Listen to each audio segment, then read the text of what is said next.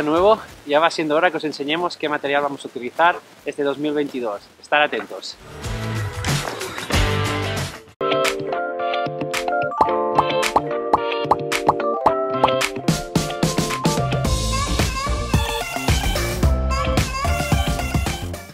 Probablemente ya habréis identificado qué bicicletas utilizaremos.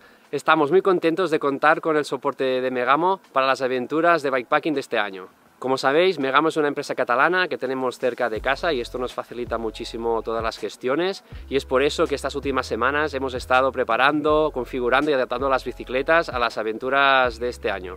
La Megamo Factory es la bicicleta que nos acompañará en nuestras rutas. Como sabéis, Sonia lleva ya un tiempo utilizándola, realizando distintas carreras de ultraciclismo, haciendo salidas de bikepacking y creemos que es la mejor opción para las rutas y las aventuras que tenemos en mente.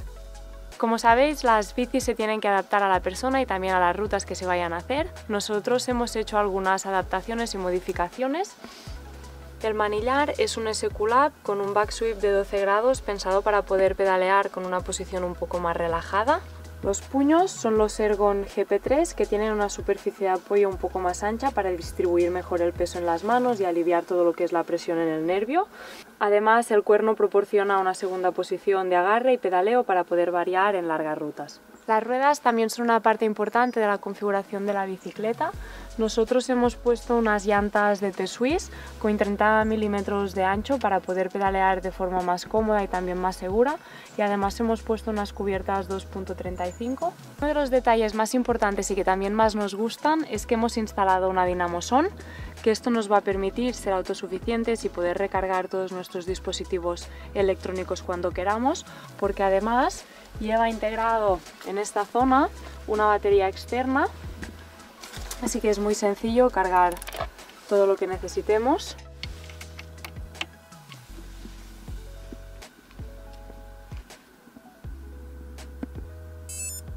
Y aunque en nuestras rutas habituales de mountain bike normalmente llevamos un plato 34 o incluso 36, para las rutas que tenemos pensadas hemos instalado un 30 en mi caso y un 32 en el caso de Eloy para poder hacer subidas un poco más relajados cuando vayamos muy cargados. Como ya os podéis imaginar, pero pocas veces vais a ver la bici sin nada cargado en ella, así que la mayor parte de las veces la vais a ver así.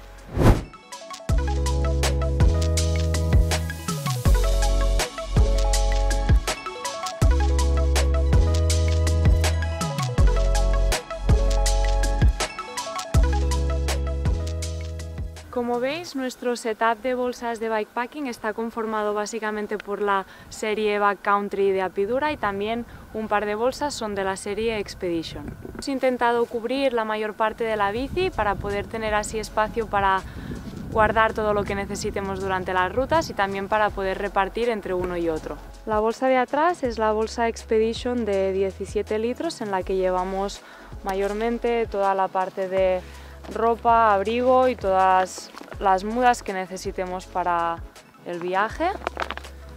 Las dos bolsas encima del cuadro que llevamos es una más pequeñita para recambios y una un poquito más larga en la que llevamos todo lo que es electrónica, el frontal y algún ítem de aseo personal.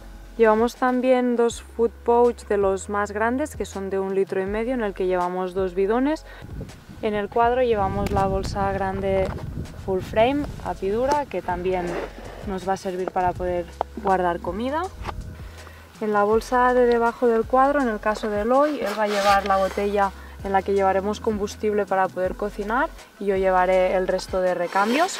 En la suspensión llevamos dos soportes y en uno de ellos llevamos una botella de un litro y medio, una en cada lado para poder tener ah, agua suficiente para rutas un poco más largas y de más días. Y delante llevamos las bolsas Expedition en las que también vamos a reservar una de ellas para guardar comida, que es esta, por eso veis que está vacía y además también hay la otra parte que necesitaremos para cocinar. Y en el otro lado, pues similar, una botella de agua y esta que está llena con una esterilla, un cojín pequeño, una toalla, uh, ítems que vamos a utilizar en general solo por la noche. Y en la bolsa del manillar vamos a repartir un poco cosas. Él hoy va a llevar la tienda y yo voy a llevar los dos sacos y también las ollas para cocinar y los dos platitos. y en esta accesoria pues vamos a poder poner distintas cosas que nos queden, además de comida.